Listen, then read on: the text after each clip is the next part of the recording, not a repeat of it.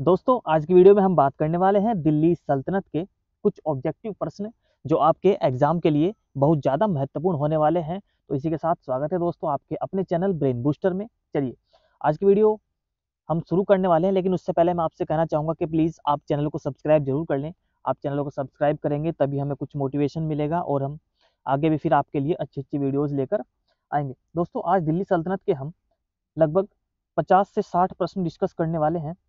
और ऐसे प्रश्न आज हम आपके सामने लेकर आए हैं, जो अक्सर एग्ज़ाम में पूछे जाते हैं और कहाँ कहाँ एग्ज़ाम पर पूछे गए हैं, वो भी इसके सामने लिखा हुआ है। तो आप लोग अपने आप को चेक करिए, कितनी तैयारी आपकी चल रही है और यदि आप अभी अभी तैयारी करनी शुरू की है तो भी आपके लिए ये वीडियो बहुत ज़्यादा महत्वपूर्ण होगी, क्योंकि आपको यहाँ से बहुत सारे प्रश्न देखने को मिलेंगे और सीखने को मिलेंगे। चलिए, शुरू करते हैं। हमारा पहला प्रश्न है,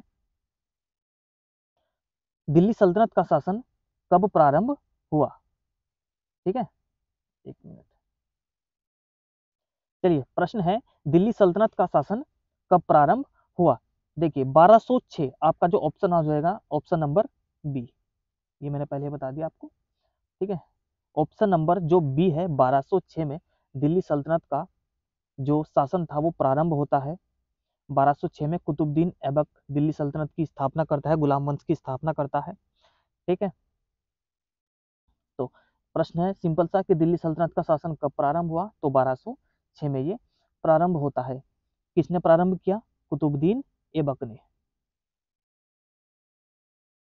कुतुबुद्दीन ऐबक के द्वारा इसे शुरू किया गया। जिस समय दिल्ली सल्तनत की स्थापना होती है, उस समय इसकी जो राजधानी होती है दोस्तों, ये महत्वपूर्ण है। ये आपको पता होना चाहिए। ठीक है? ये क्या है? जब लाहौर। स्थापना के समय जो राजधानी थी, वह लाहौर थी। उसके बाद के जो दिल्ली जो शासक हुए हैं, उनकी जो राजधानी है, वो फिर दिल्ली है। लेकिन कुतुबुद्दीन ऐबक एक ऐसा शासक हुआ, जिसकी राजधानी कहाँ पर थी? लाहौर में थी। चलिए, प्रश्न नंबर सेकंड देखते हैं। निम्नलिखित में से किसने दिल्ली की सल्तनत दिल्ली सल्तनत पर राज नहीं किया? यानी कि कौन सा ऐसा वंश था, जिसने दिल्ली सल्तनत पर राज नहीं किया? आपके ऑप्शन है, गुलाम वंश गुलाम वंश था बारह छह में स्थापना हुई थी, सैयद वंश भी था, खिलजी वंश भी था, लेकिन ये जो गौरी वंश है, ठीक है, गौरी वंश है, गौरी वंश ने दिल्ली सल्तनत पर राज नहीं किया। नेक्स्ट देखिए, गुलाम वंश का संस्थापक कौन था? अभी हमने बताया, ठीक है 1206 में कुतुबुद्दीन ऐबक ने 1206 पहला क्वेश्चन ही था हमारा 1206 में कुतुबुद्दीन ऐबक ने दिल्ली सल्तनत की स्थापना की थी।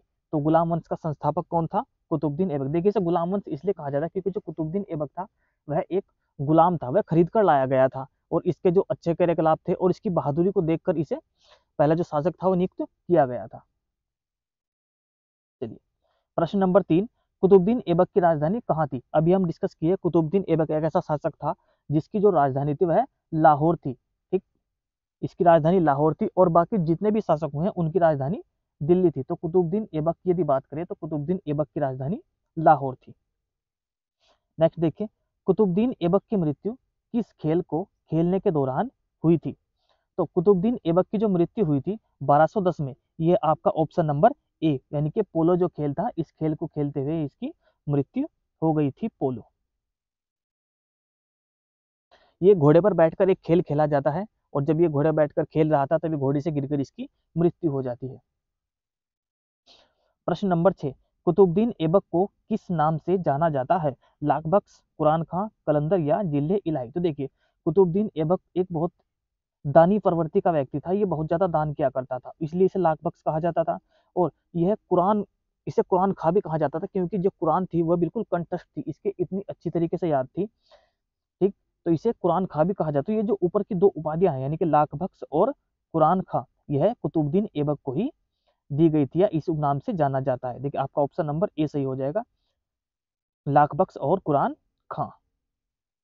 चलिए, प्रश्न नंबर सात देख लेते हैं। कुतुबुद्दीन ऐबक ने शासक बनने के बाद कौन सी उपाधि धारण की?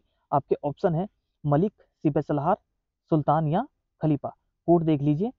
कोट है आपका, एक और तीन, दो और चार, एक और दो, यानी कि जो मलिक है और जो सिपे सलाह देखिए यहाँ पर जो उपाधि है मलिक की और सिपे सलार की। ये इसने उपाधि धारण की थी मलिक और सिपे सलार की। दिल्ली सल्तनत का वास्तविक संस्थापक अथवा उद्धारक किसे माना जाता है? ये प्रश्न है आपका कि जो दिल्ली सल्तनत है, इसका वास्तविक अथवा वास्तविक संस्थापक और उद्धारक किसे माना जाता है? देखिए, आपके ऑप्शन है इल्तुतमिश ऐबक बलबन या आराम सा। तो दिल्ली सल्तनत का जो वास्तविक संस्थापक माना जाता है, वह कुतुबुद्दीन ऐबक को माना जाता है। ओह सॉरी ठीक है, ये जो इल्तुतमिश है, इल्तुतमिश को माना जाता है दिल्ली सल्तनत का वास्तविक संस्थापक। यदि प्रथम की बात करें, दिल्ली सल्तनत का प्रथम संस्थापक वो था कुतुबुद्दीन ऐबक। लेकिन यदि वास्तविक की बात आई, वास्तविक संस्थापक कौन था तो वह था कुतुब इल्तुतमिश। चलिए। नेक्स्ट देख लेते हैं। इल्तुतमिश ने सल्तनत की राजधानी के रूप में किसे स्थापित किया था? तो इल्तुतमिश की जो राजधानी थी, वह थी दिल्ली। देखिए, हमने आपसे पहले भी कहा, जो स्टार्टिंग की जो राजधानी थी, कुतुबुद्दीन ऐबक के द्वारा जो बनाई गई थी, वह लाहौर थी। लेकिन उसके बाद के जो राजा हुए, उनमें जो इल्तुतमिश है, उसने राजधानी कहाँ परिवर्तित कर दी? दिल्ली। और तब से ही राजधानी दिल्ली होने लगी। प्रश्न नंबर दस। दिल्ली के प्रथम प्रभुता संपन्न इल्तुतमिश को किस उपनाम से जाना जाता है? तो जो इल्तुतमिश है, इसे गुलामों का गुलाम कहा जाता है। ठीक है? इल्तुतमिश का ये उपनाम है, गुलामों का गुलाम। तो ऑप्शन नंबर जो ए है, वो बिल्कुल करेक्ट हो जाएगा। चलिए नेक्स्ट देखते हैं। प्रश्न नंबर ग्यारह। नियमित मुद्रा जारी करने वाला और दिल्ली को अपने साम्राज्य की राजधानी घोषित करने वाला प्रथम सुल्तान कौन था? तो देखिए, यहाँ पर जो हमारा उत्तर हो जाएगा आंसर हमारा क्या हो जाएगा? डी, इल्तु तमीज। इल्तुतमिश इल्तुतमिश ने नियमित मुद्रा जारी की थी और इसके साथ साथ में अपने जो साम्राज्य की जो राजधानी थी, वह दिल्ली को घोषित किया था। चलिए नेक्स्ट देखिए। किसके सिक्कों पर बगदाद के खलीफा का नाम सर्वप्रथम अंकित हुआ? तो ये आपको बताना है किसके सिक्कों पर बगदाद के खलीफा का नाम अंकित हुआ था तो ये भी कौन था? इल्तु तमिस इल्तु तमिस के सिक्कों पर बगदाद के खलीफा का नाम सर्वप्रथम अंकित किया गया था। नेक्स्ट है। इल्तुतमिश ने निम्नलिखित में से किस दल का गठन किया था? तो आपका जो सही आंसर हो जाएगा ऑप्शन नंबर बी यानी कि तुर्कान ए चहलगामी। तुर्कान ए चहलगामी का इसने गठन किया था। ये क्या थे? देखिए, चालीस सरदार हुआ करते थे। चालीस सरदारों का एक दल था। इसे ही तुर्कान ए चहलगामी कहा गया। नेक्स्ट देखिए। इल्तुतमिश के शासनकाल में भारत पर किसका आक्रमण हुआ? चंगेज खान ने आक्रमण किया था इल्तुतमिश के समय। यदि यह प्रश्न बने कि चंगेज खान ने आक्रमण किसके समय पर किया तो आपका आंसर हो जाएगा इल्तुतमिश। नेक्स्ट देखिए। इल्तुतमिश ने बिहार में अपना प्रथम सूबेदार किसे नियुक्त किया था?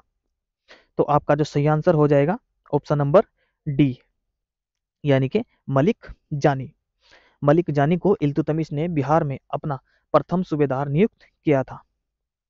प्रश्न नंबर 16 निम्नलिखित के समय कौन सा विद्रोह हुआ? पिथु का विद्रोह इल्तुतमिश के समय किसका विद्रोह हुआ था? प्रश्न ये है हमारा।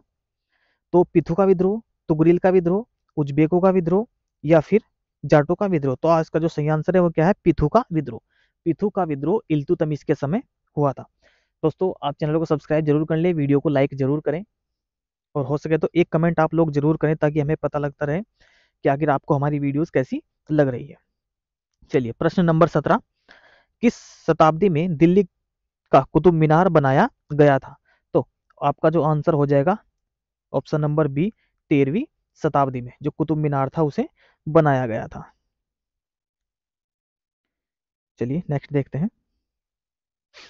प्रश्न नंबर 18 इल्तुतमिश ने निम्नलिखित में से कौन सा सिक्का चलाया? जीतल, टका, रुपया या अदा? कूट है आपके, एक और दो दो और तीन एक, दो, तीन, एक, दो, तीन, चार। तो जीतल और टका ये इल्तुतमिश के द्वारा चलाए गए थे। तो आपको याद रखना है, ऑप्शन नंबर क्या हो जाएगा? ऑप्शन नंबर ए, जीतल और टका। ठीक है? ये जो जीतल और टका है, इसे इल्तुतमिश के द्वारा चलाया गया था। चलिए नेक्स्ट देखिए। प्रश्न नंबर 19 इनमें से किस मंगोल नेता, कमांडर ने भारत पर आक्रमण करने के लिए सिंधु नदी पार नहीं की? ठीक है, कौन सा शासक था जिसने सिंधु नदी, जो पार नहीं की थी, वो बाहर से बाहर ही चला गया था। तो ये था चंगेज खान। चलिए। प्रश्न नंबर बीस, निम्नलिखित में से कौन भारत की प्रथम महिला शासिका थी? तो ये रही रजिया सुल्तान।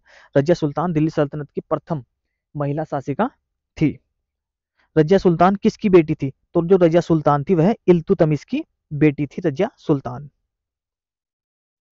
रजिया बेगम को सत्ताच्युत करने में किसका हाथ था? तो इसका जो सही आंसर हो जाएगा ऑप्शन नंबर सी यानी कि तुर्कियों का। तुर्की के जो सरदार थे, इन्हीं का बहुत महत्वपूर्ण हाथ माना जाता है इसे सत्ताच्युत करने में, और इसकी हत्या कर दी जाती है कैथल में। मिनहाज उस सिराज ने तबकात ए नासिरी नामक ग्रंथ किस सुल्तान को समर्पित किया है? ठीक तो यह है नासिरुद्दीन महमूद को। नासिरुद्दीन महमूद को इस ग्रंथ को समर्पित किया गया है। प्रश्न ये भी बन सकता है, देखिए, यहाँ पर एक किताब है, ये भी बन सकता है कि जो तबकात ए नासिरी है, यह किसने लिखी है? तो ये भी आपको पता होना चाहिए, यह मिनहाल, मिनहाज उल, उस सिराज की पुस्तक है, तबकात ए नासिरी। चलिए नेक्स्ट देखते हैं। प्रश्न नंबर चौबीस। निम्नलिखित में से किसको नसीरुद्दीन महमूद ने उलूग खां की उपाधि प्रदान की थी? इल्तुतमिश बलबन, गैसुद्दीन या रजिया? तो आपका जो सही आंसर हो जाएगा, वह है बलबन। बलबन ने ही उलूग खां की उपाधि प्राप्त की थी।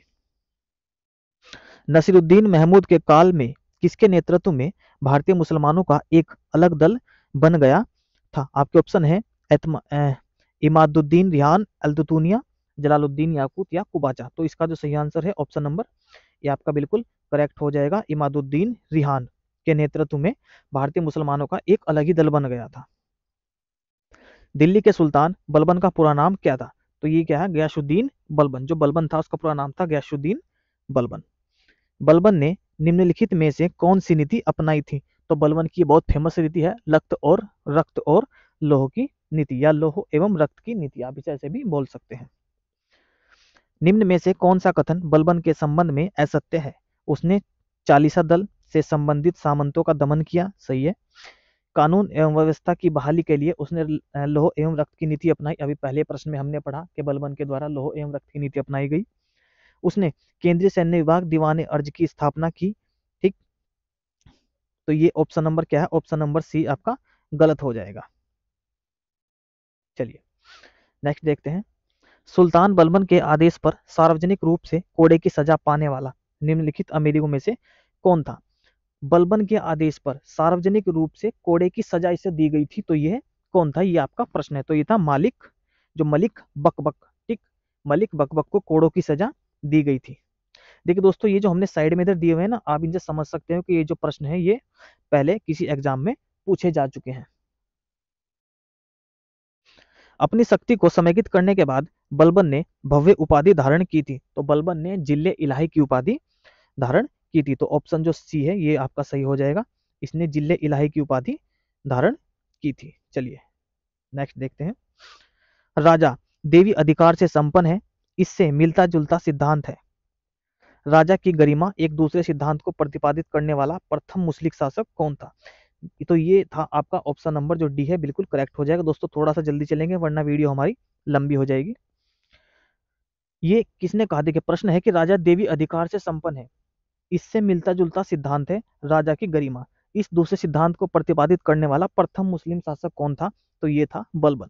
बलबन ने ही ये कहा था कि जो राजा क्या है? देवी अधिकार से संपन्न होता है। चलिए नेक्स्ट देखिए। प्रश्न नंबर बत्तीस। बलबन ने भारत में किस फारसी त्योहार को मनाने की शुरुआत की? तो जो ये जो नौरोज त्योहार है, इसे मनाने की जो शुरुआत है, वो बलबन के द्वारा की गई थी। निम्नलिखित में से कौन सा कथन बलबन के संबंध में सही नहीं है? उसने नियामत खुदाई के सिद्धांत का प्रतिपादन किया। उसने इकतदारी व्यवस्था नहीं, ये बिल्कुल प्रश्न आपका इकतदारी गलत हो जाएगा, ठीक है? इकतदारी जो व्यवस्था थी, वह बलबन के द्वारा शुरू नहीं की गई थी। चलिए नेक्स्ट देखिए। बलबन ने किस मस्जिद की दीवार पर अपने शिलालेखों में स्वयं को खलीफा का सहायक कहा है? तो ये जो था गढ़ मुक्तेश्वर की जो मस्जिद है, ठीक है गढ़ मुक्तेश्वर की मस्जिद में इसने अपने शिलालेख में स्वयं को खलीफा का सहायक कहा है। प्रश्न नंबर पैंतीस, बलबन के शासनकाल में निम्नलिखित में से कौन सा विद्रोह हुआ था? तो बलबन के शासनकाल में तुगरिल खां का विद्रोह हुआ था। इनमें से किस सुल्तान ने तुर्कान ए चहलगामी की सत्ता को तोड़ने और विनाश करने में पूर्ण रूप से सफलता हासिल की? तो जो बलबन था, देखिए, बलबन ने तुर्कान ए चहलगामी को बिल्कुल खत्म कर दिया था। और शुरू किसके द्वारा की गई थी? अभी हमने पहले आपको बताया है। यदि आपको याद है तो आप मुझे फटाफट कमेंट करके बताइए। खिलजी वंश का संस्थापक कौन है? ठीक है तो जलालुद्दीन खिलजी। जलालुद्दीन खिलजी को दिल्ली वंश का संस्थापक माना जाता है। दिल्ली के खिलजी, सुल्तान थे, ये कौन थे? ये कहाँ से आए थे? ये एक तुर्क थे, ठीक है? आपके ऑप्शन दे रखे मंगोल थे, अफगान थे, जाट कबीला था एक, या फिर तुर्क थे। तो जो ये दिल्ली के खिलजी सुल्तान थे, ये तुर्क लोग थे। जलालुद्दीन खिलजी के समय निम्नलिखित में से किसका विद्रोह हुआ था? तो सीधी मोला का जो विद्रोह था यह है, जलालुद्दीन खिलजी के समय हुआ था। किसका विद्रोह? सीधी मोला का विद्रोह। प्रश्न नंबर चालीस जलालुद्दीन खिलजी के शासनकाल में निम्नलिखित में से किसका विद्रोह हुआ था? तो देखिए, आपके ऑप्शन है मलिक छज्जू का। एक सेकेंड ठीक। तो जलालुद्दीन खिलजी के जो शासनकाल में विद्रोह मलिक छज्जू का हुआ था, ये आपको पता होना चाहिए। चलिए नेक्स्ट देखते हैं। अलाउद्दीन खिलजी के बचपन का क्या नाम था? तो जो अली गुरशाप था अलाउद्दीन खिलजी के बचपन का नाम अली गुरशाप था। अलाउद्दीन खिलजी को नवीन धर्म की इच्छा रखने के कारण किसके विरोध का सामना करना पड़ा था? यानी कि जो अलाउद्दीन ने एक नवीन धर्म की इच्छा व्यक्त की थी, इसके जो उलेमाओं ने उलेमाओं ने इसका विरोध किया था। ठीक है तो आपको ये भी जानकारी होनी चाहिए कि जो उलेमा लोग थे, उन्होंने अलाउद्दीन खिलजी का जो नवीन धर्म था, इसकी जो इच्छा उसने व्यक्त की थी कि नवीन धर्म होना चाहिए, उलेमाओं द्वारा इसका विद्रोह किया गया था।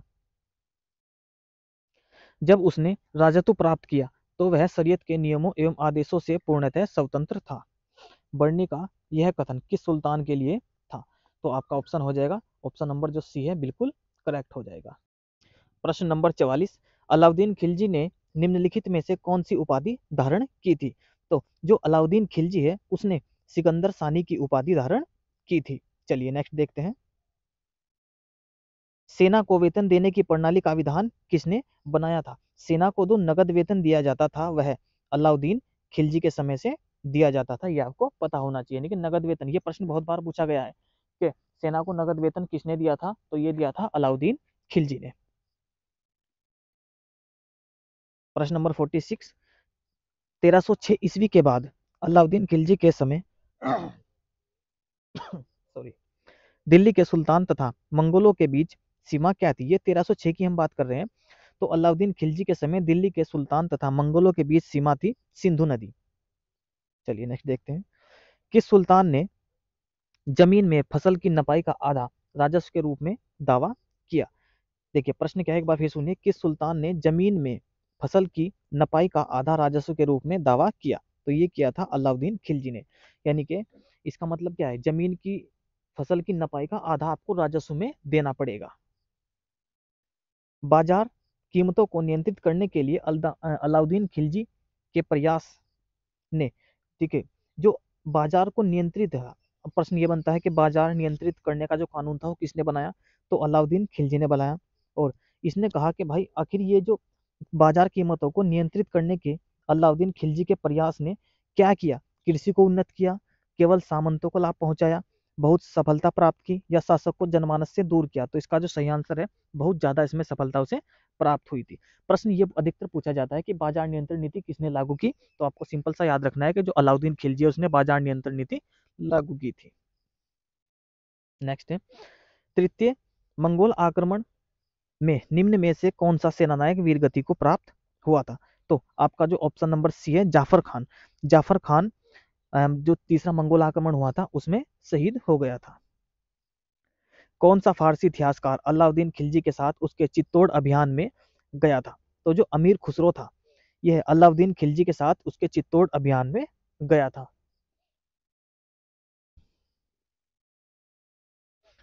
अलाउद्दीन खिलजी के आक्रमण के समय देवगिरी का शासक कौन था? जो अलाउद्दीन खिलजी ने जब आक्रमण किया, उस समय देवगिरी का शासक रामचंद्र देव ठीक? तो ऑप्शन नंबर जो ए है, बिल्कुल करेक्ट हो जाएगा, रामचंद्र देव। अलाउद्दीन खिलजी ने मूल्य नियंत्रण नीति किसके लिए लागू की थी? तो देखिए, मूल्य नियंत्रण नीति किसके लिए लागू की थी? ये सैनिकों के लिए लागू की थी। एक सेकेंड चलिए नेक्स्ट है। निम्नलिखित में से किसने अपनी राजधानी दिल्ली से देवगिरी स्थानांतरित की थी? तो मोहम्मद बिन तुगलक ने अपनी राजधानी को दिल्ली से देवगिरी स्थानांतरित किया था। देखिए, राजधानी कैसे? सबसे पहले कुतुबुद्दीन ऐबक आता है, ठीक है? कुतुबुद्दीन ऐबक राजधानी लाहौर है। फिर लाहौर, देखिए, जो राजधानी परिवर्तन करता है, सबसे पहले दिल्ली वो कुतुबुद्दीन ऐबक ही करता है। शासन कौन करता है सबसे पहले? इल्तुतमिश करता है दिल्ली पर। इसके बाद अब आता है मोहम्मद बिन तुगलक। मोहम्मद बिन तुगलक ने अपनी राजधानी दिल्ली से देवगिरी स्थानांतरित की। देखिए, जो मोहम्मद बिन तुगलक है, इसे असफलताओं का राजकुमार कहा जाता है, क्यों? क्योंकि इसने पाँच बड़ी योजनाएँ चलाई थी। और पाँचों की पाँचों असफल हो गई थी। इस वजह से इसे असफलताओं का राजकुमार कहा जाता है। देखिए, इसने क्या, एक तो अपनी राजधानी परिवर्तित की थी दुआब में कर इसने वृद्धि की थी, एक खुरासान अभियान इसने किया था, एक कराचील अभियान इसने किया था ऐसी ऐसी चार पाँच अभियान थे जो इसने किए थे, लेकिन सभी के सभी असफल हो गए थे। इसी वजह से इसे असफलताओं का राजकुमार कहा जाता है, मोहम्मद बिन तुगलक को। रानी पद्मिनी का नाम अलाउद्दीन की चित्तौड़ विजय से जोड़ा जाता है। उनके पति का नाम क्या है? जो रानी पद्मिनी है, उनके जो पति का नाम है, वह राणा रतन सिंह।